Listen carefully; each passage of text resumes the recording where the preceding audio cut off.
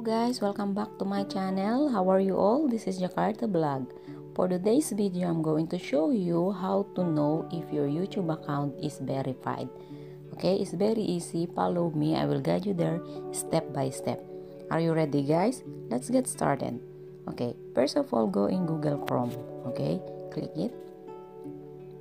And in the search engine, type in www.youtube.com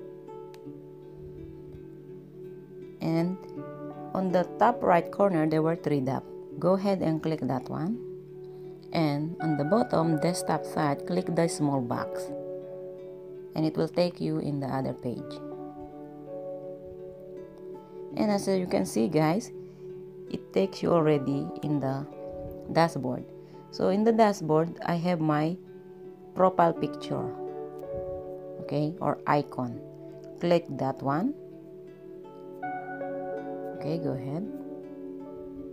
And in here you have your YouTube studio. Click that one. And it will take you in another page. Wait for it. Okay. And it's already there. And on the bottom part there were a setting. Okay there we go. Click that one and it will pop up a small box. And in here in the channel you, I hope you can see that. Okay click the channel. Okay and in here so you can see this one feature eligibility click that one. Okay and in here